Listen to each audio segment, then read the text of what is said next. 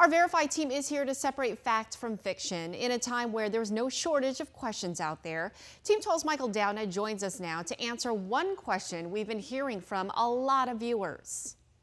Viewer Mike Kaiser sent us this question Is COVID 19 now worse than the Spanish flu of 1918? So let's verify. Our sources are the Centers for Disease Control and Prevention and the Johns Hopkins University and Medicine Coronavirus Resource Center.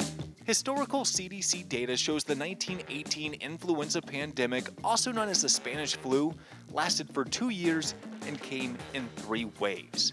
The CDC estimates around 500 million people, or one third of the world's population, became infected with that virus.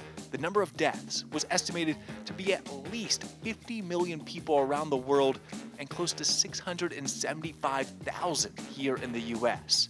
By comparison, the Johns Hopkins University and Medicine Coronavirus Resource Center reports more than 208 million COVID cases worldwide, with close to 40 million here in the US.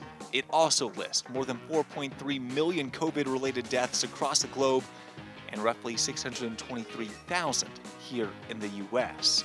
So we can say as of today, no, COVID 19 is not worse than the Spanish flu of 1918. With your fast facts, I'm Michael Doudna.